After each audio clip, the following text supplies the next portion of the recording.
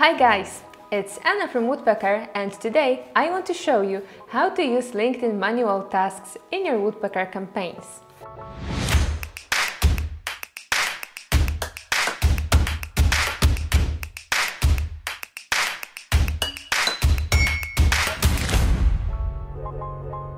A LinkedIn manual task is a great way to set up a reminder to make contact with your prospect via LinkedIn. Even a simple View LinkedIn profile as an action can extremely improve your sales process. A prospect gains a better recognition of you and your company. He will see that you are a real person and at the end, this may lead to closing the deal.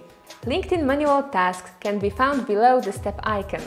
Change the step type to see default LinkedIn actions and a field where you can provide some additional details. LinkedIn manual tasks don't require from you a connected LinkedIn account.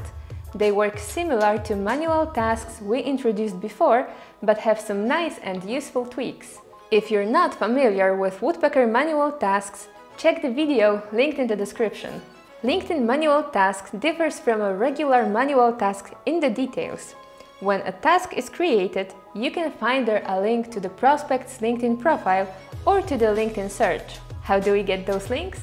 Basically, if you paste LinkedIn URLs to the prospects table, they will appear in task details. But if you don't have such data, we will build a link to the LinkedIn search based on the prospect's information first name, last name, and company. It's good to provide woodpeckers those three values so you can get the best search results. And that's it! Join us next time because I will tell you how to get even more from your LinkedIn manual tasks. Bye!